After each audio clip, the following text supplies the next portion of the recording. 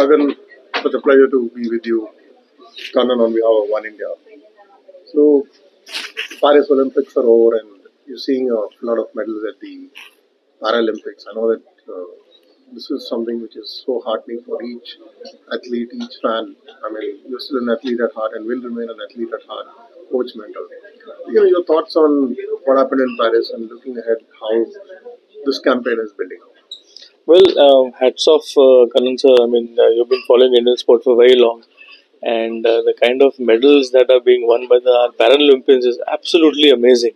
I mean, what brilliant effort by each one of them, and they surpassed their earlier medal tally. Superb. I mean, I mean, my personal inspiration. So many of them that have done really, really well, especially in shooting.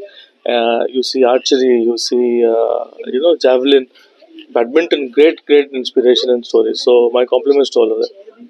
You know, uh, this is like a turning point in shooting. You know, you know we've seen in uh, our own Indian shooting. I mean, nowadays one shouldn't even make a distinction between able-bodied and para, but you know, obviously go back to three medals from Paris 2024 Olympics and this Olympics. Do you think that's going to really make kind of a change? We'll see a kind of revolution, more people coming forward, and uh, maybe by 2028 we will the Olympics as well as in the Paralympics. Well, shooting and all sport, I mean. Well, absolutely. I think shooting has done fantastic. Uh, I mean, in the able-bodied uh, uh, discipline, shooting has won medal after 12 years, and uh, that too three of them. So I think fantastic achievement uh, by the shooters in able-bodied and Paralympics surpassed all records uh, previously, and they've done absolutely brilliant. And I think the future is bright for Indian shooting, whether it's able-bodied or para. You know, uh, very soon before the celebrations end, we'll be into the 2026 cycle and the 2028 cycle. People must not forget that it's not just about Los Angeles, it's about the next uh, Asian Games, and you also have possibly the uh, Commonwealth Games in Manchester.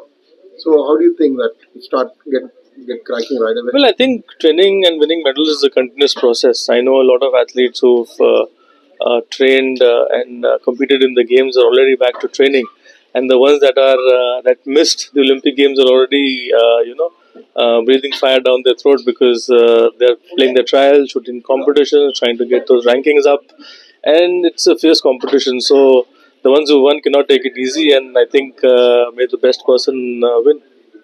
Thank you, Gagan. always inspiring to talk to you.